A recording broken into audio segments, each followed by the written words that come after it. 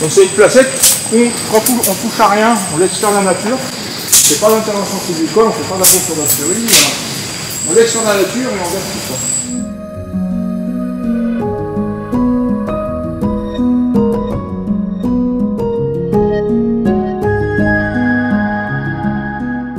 Je travaille à l'ONF euh, de Saint-Laurent depuis 1999, juin 1999.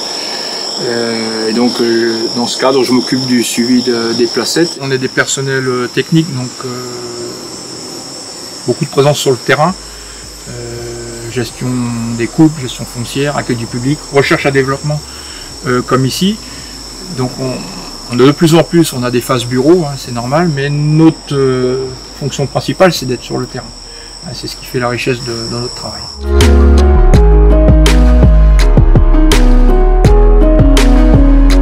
La bagasse, euh, qui est un art particulier, on, l'utilise euh, aussi bien traditionnellement bah, pour faire les pirogues, hein, euh, on l'utilise aussi pour faire de- les bénisteries, et pour les chasseurs, c'est un arbre ressource qui donne des fruits, donc quand les animaux viennent les manger, donc quelqu'un qui, connaît les arbres peut en même temps pratiquer une bonne chasse, parce qu'il va savoir que les, animaux vont manger ses fruits, donc il va pouvoir faire un, tir à l'affût précis.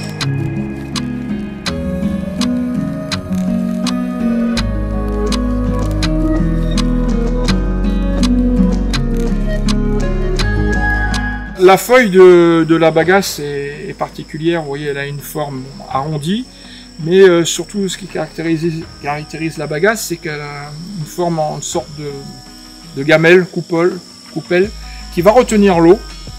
Et lorsque tous les effets combinés, la feuille verte vient de tomber, euh, l'eau euh, stagne pendant plusieurs jours. Et quand on la boit, hein, traditionnellement chez les Amérindiens, on dit que c'est mieux pour pratiquer la chasse le soir. C'est-à-dire euh, il y a un effet euh, d'alcaloïde.